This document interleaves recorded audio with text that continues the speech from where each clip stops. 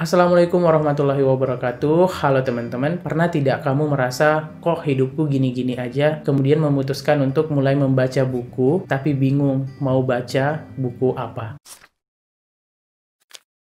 Dan di video kali ini aku bakal coba berbagi tiga buku rekomendasi versi aku yang mengubah hidupku. Pertama, pada saat itu aku berpikir bagaimana menghilangkan kebiasaan buruk aku dan memasukkan kebiasaan baik dalam hidup aku. Kebetulan aku ketemu buku Atomic Habits karya James Clear ini banyak direkomendasikan oleh influencer-influencer di bidang education ataupun self-development dan memang ini worth it. Di buku ini ditekankan kita nggak perlu melakukan suatu perubahan yang besar. Cukup dengan satu persen perubahan kecil itu akan berpengaruh jangka panjang untuk hidup kita. Tentunya tips-tips menghilangkan kebiasaan buruk dan mendatangkan kebiasaan baik itu bisa dilaksanakan dengan mudah dan dipraktekkan secara sederhana. Di buku ini itu dikatakan kalau misalnya kita cukup menjadi arsitek untuk lingkungan kita sendiri. Contohnya, dengan menjadikan kebiasaan itu terlihat, dengan menjadikan kebiasaan itu menarik, lebih mudah untuk dilakukan, dan hasilnya bisa memuaskan untuk diri kita sendiri. Gimana cara-caranya itu bakal dijelaskan di buku ini, silahkan beli dan dipraktekkan. Yang kedua, setelah aku merasa mulai bisa meninggalkan kebiasaan-kebiasaan buruk dan mulai melakukan kebiasaan baik, saatnya beralih menjadikan hidupku berguna. Sebagai manusia, untuk bertahan hidup, kita membutuhkan materi. Uang memang bukan segalanya. Tapi di sini aku tidak ingin menjadikan uang sebagai tujuan hidupku. Aku tidak ingin mengejar uang, tapi bagaimana uang datang dengan sendirinya ketika aku menjalani hidup.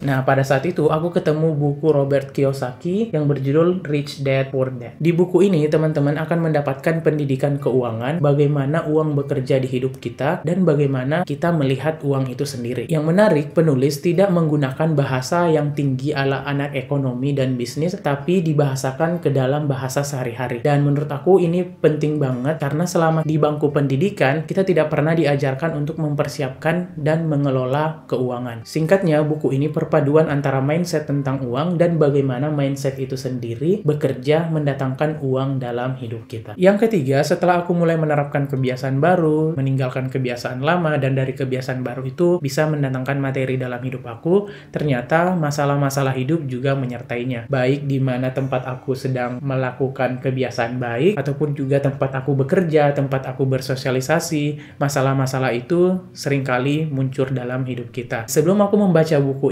aku itu menganggap kalau misalnya masalah hidup 100% harus dihadapi.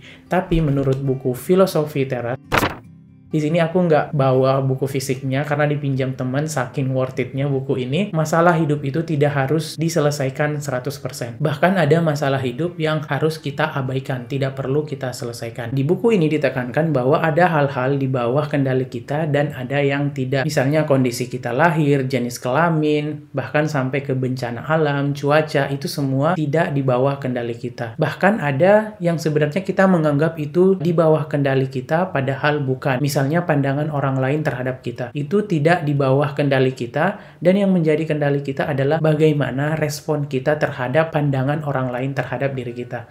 Nah, dengan hal itu bisa menambah kita tetap produktif dan tidak uh, merasa overthinking ataupun insecure ketika melakukan sesuatu. Selain itu, hal-hal yang tidak di bawah kendali kita seperti reputasi, kekayaan, dan juga kesehatan. Kadang sering kali kita berusaha untuk membranding diri kita ataupun bekerja untuk mendapatkan kekayaan, menjaga berolahraga untuk mendapatkan kesehatan, namun itu belum tentu menjadikan kita sehat. Kadang sering kali kita udah jaga kesehatan, tapi nyatanya tetap jatuh sakit. Makanya ini semua tidak di bawah kendali kita.